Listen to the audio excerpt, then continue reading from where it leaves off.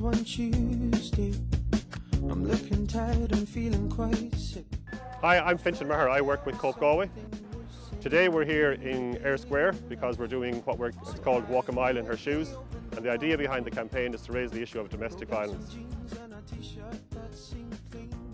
Walk a Mile in Her Shoes is an international campaign that started in America.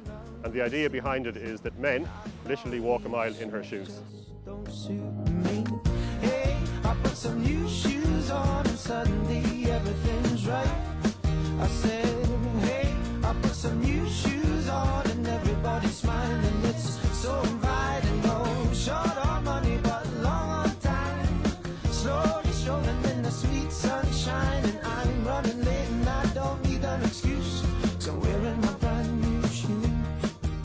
The objective of today, as I say, is to raise awareness, but it's also to raise funds. All of the funds raised today will go towards the work of our refuge in the city.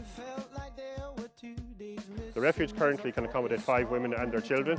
Unfortunately, it's in a very dilapidated condition. So our longer term aim is to develop a new refuge for the city that will have better accommodation, but also be able to accommodate more women and their children. all of my friends all dancing round and round. And I thought, hello, new shoes, bye bye blues. Hey, I put some new shoes on and suddenly everything's right.